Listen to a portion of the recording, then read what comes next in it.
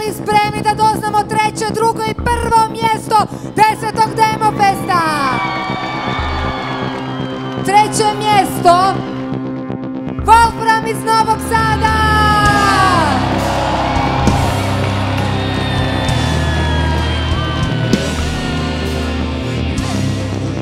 Druga nagrada, Tiger Lamp iz Zagreba!